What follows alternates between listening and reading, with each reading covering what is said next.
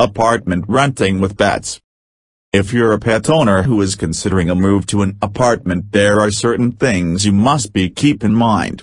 First, whether or not your pet will be accepted by most landlords depends primarily on the type, size and personality of your pet. Dogs, if you own a large dog, apartment living is probably not for you. Not only will accepting landlords be hard to find, but your dog will not be happy in the confined space of an apartment. A large dog needs room to exercise and play, neither of which is usually available in an apartment setting. If you plan to move to an apartment, make sure your dog is one that will adapt easily to this change in environment. Usually smaller, lap dogs are the best choice. However, even smaller dogs can cause problems.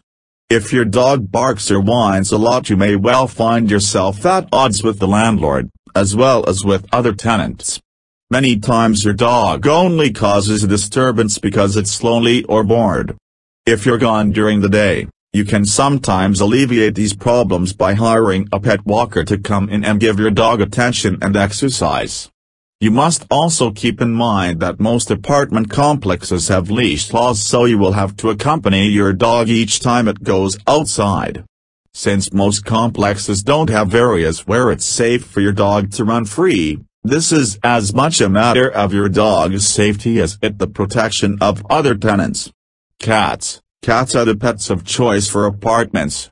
Most are not as socially oriented as dogs and are quite happy left on their own. As long as your cat has a nice spot to curl up and take a nap, space isn't an issue.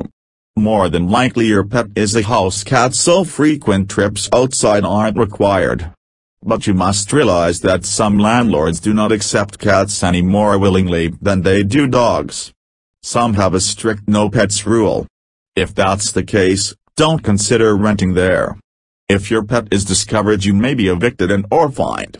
Other pets, Pocket pets such as fish, birds, and reptiles usually don't pose a problem when it comes to renting. However, you should still check with your prospective landlord to make sure. General tips, landlords who do accept pets often require a pet deposit. This is intended to cover any damage your dog or cat does to the premises, as well as additional cleaning that may be necessary when you leave the apartment. If you're searching for apartments that accept pets, there are many places to go for help. You'll find lots of websites and message boards dedicated to this subject.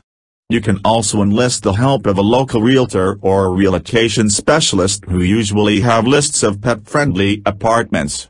Just make sure you're clear on the policy regarding pets before you sign any rental agreement.